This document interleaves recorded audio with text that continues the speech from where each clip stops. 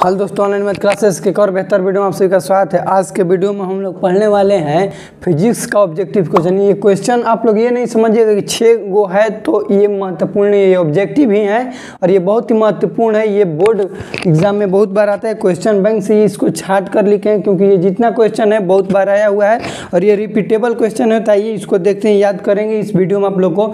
दो तीन मिनट के अंदर आप लोग को याद करवा देंगे। ये हम सोचे कि बहुत ही महत्वपूर्ण है तो क्यों ना आप लोग को बता दे। तो पहला है कि निर्वात में चुंबकीय की प्रवृत्ति क्या होती है? चुंबक की प्रवृत्ति कितना होती है? निर्वात मतलब क्या चीज़? वैक्यूम वैक्यूम निर्वात. निर्वात में चुंबक की प्रवृत्ति कितना होती है?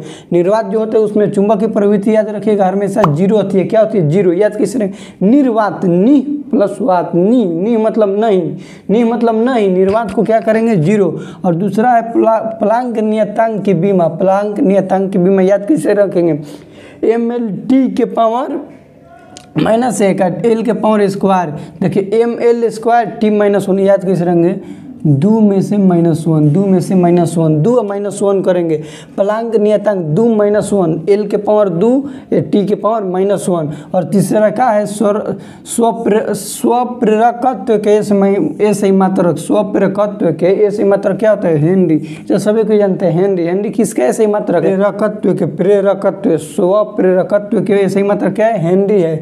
और चौथा है इलेक्ट्रॉन वोल्ट का मान। इलेक्ट्रॉन वोल्ट एक इलेक्ट्रॉन वोल्ट बराबर कितना कितना होता एक दशमलव छः आप लोग कहेंगे कि रटे हैं नहीं। एक दशमलव छः गुणे दस के पावर माइनस उन्नीस गुलाम होता है। एक दशमलव छः गुणे दस के पावर माइनस उन्नीस गुलाम, माइनस उन्नीस गुलाम। देखिए, पावर वाला ध्यान देना है। जब माइनस नौ लिखे, आप लोग तेज़ी में कीजिएगा तो मार दीजिएगा, इसको ये गलत हो जाएगा। ये भी गलत, ये भी गलत। सही कौन? एक दशमलव छः गुणे दस के पावर माइनस उन्नीस गुलाम। पहला क्वेश्चन क्या है? निर्वात में चुंबकीय प्रेरण की प्रवृत्ति कितना होती है? निर्वात में चुंबकीय प्रवृत्ति कितना होती है? निर्वात मतलब नहीं। उसमें कुछ है भी नहीं किया निर्वात में कुछ नहीं है। कुछ नहीं है होने का मतलब क्या है कि ज़ीरो होगा? क्या होगा? ज़ीरो। प्लांक नियतांक क्या रखे? प्लांक नियतांक एल स्क्वायर। एल स्क्वायर है टी माइनस वन मतलब M L square T minus one.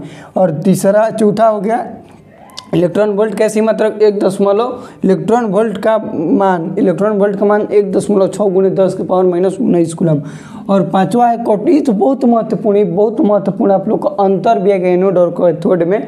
आप लोग वीडियो नहीं देखे हैं तो देख लीजिए, डिस्क्रिप्शन में उसका लिंक दे देंगे। कैथोड किरण समूह होती है, कैथोड क्या होता है? इलेक्ट्रॉन, कैथोड मतलब क्या होता है? माइनस होता है, कैथोड मतलब माइनस निगेटिव। और एनोड पॉजिटिव होता है, एनोड क्या होता है? लिख देते हैं, यहाँ पे लिख लीजिएगा।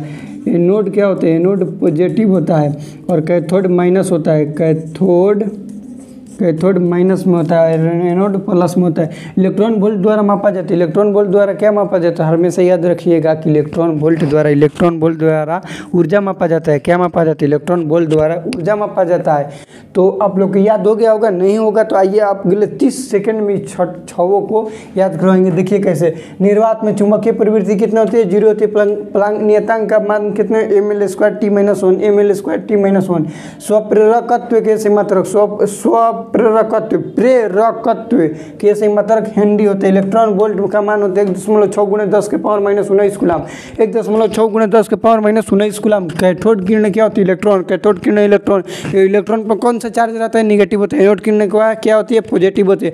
उस पर कौन सा चार्ज आएगा? पॉजिटिव मतलब प्रोटॉन होगा। कौन सा होगा? प्रोटॉन होगा।